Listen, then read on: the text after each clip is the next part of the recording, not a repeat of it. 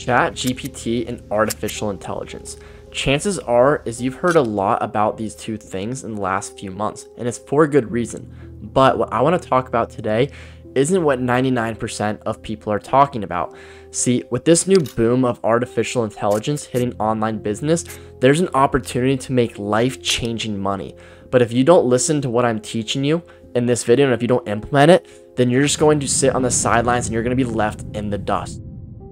So how do you take advantage of this opportunity that I'm talking about? Let me explain. If you're watching this video right now, you probably have some sort of desire to start some sort of software company in 2023, whether it's utilizing AI or whether it's utilizing no code tools. I've personally started or co-founded three different software companies and I've sold two of my software companies in the last six months alone.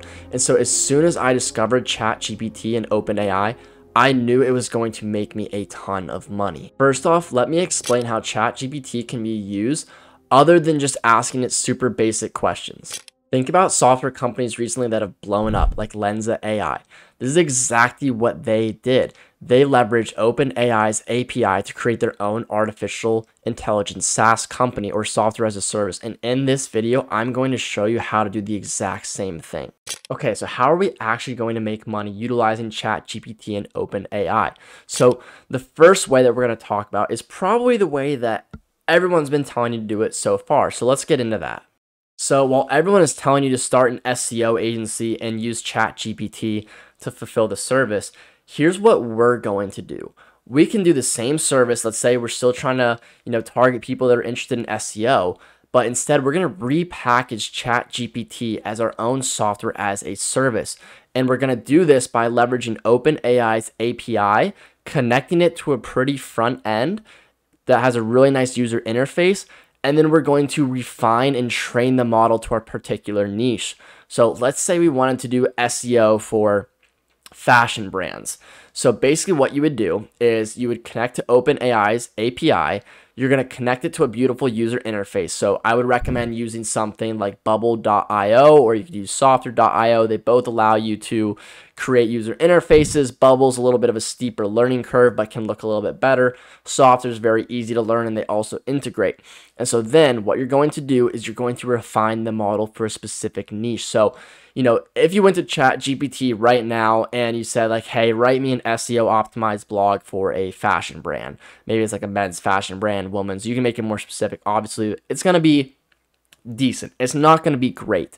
But then what you can do is you could actually hire an actual SEO specialist and you could actually have them create they could, you'd have them write actual SEO optimized blogs for very specific uh, you know, prompts and then you can feed those into uh, the machine learning model, and then it'll spit out some that are sim more similar to what you just fed into it.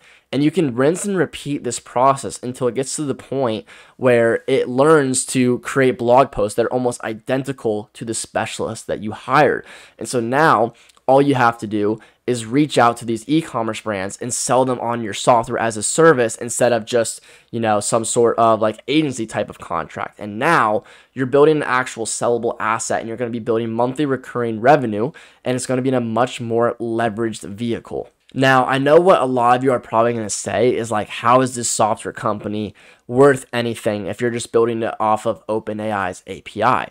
And so your moat becomes your ability to train the model. So how well you've trained the model becomes your IP, it becomes your moat. And so you need to have a very good system in place to continuously feed new data back into the machine learning model to teach it how to obviously create better outputs for your clients.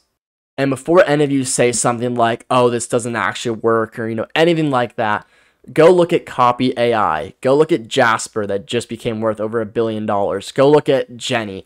There's all these AI software companies out there that are blowing up and raising money at crazy valuations. Like this is not a fad. Like this is a real thing and it is going to be the future and I'm telling you. So you can sit on the sidelines or you can join it and become a part of the movement. Now, the last piece of alpha that I want to leave you with is whatever your niche is, and we'll stay with the SEO niche since that's the example we were using. And again, you'll see Iman Gadzhi doing this. You'll see Russell Brunson doing this. You saw Alex Becker do this. Is they'll all use info products or courses and they'll sell that on the front end to then use that to funnel people to their SaaS product. So you could sell either a digital course or a community. And so let's say you wanted to create like a either a course or a subscription community on how to, you know, how to do SEO for ecom brands. And so you advertise that for something super affordable. It could even be free or it could be a super, you know, low ticket course community. You get a bunch of people in your course or your community and then boom, you funnel all of those people to your software as a service. It's like, hey, here's so basically you sell them the knowledge as a course or community, and then you sell them the, the implementation as a service. So you say, hey, here's how to do it, here's how to do SEO. Or if you want it done for you, our software will actually do it for you.